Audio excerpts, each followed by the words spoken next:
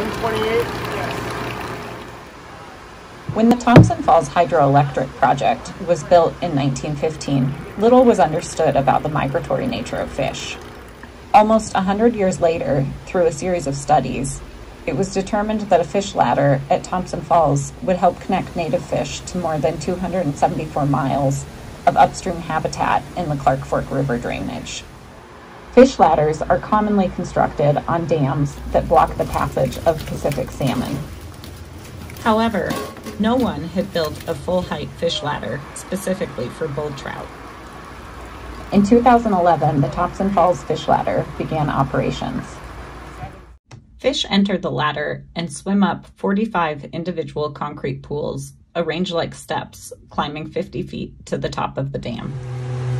When fish reach the top of the ladder, they enter a holding pool that is checked daily.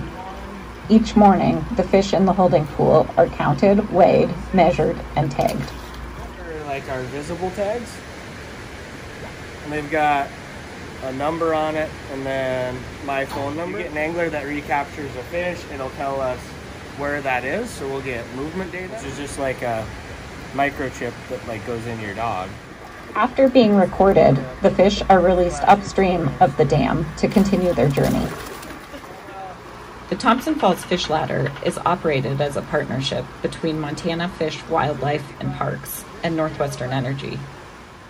Through this partnership, we are continuously striving to find the right balance that allows hydroelectricity and bull trout to coexist in Montana's river systems.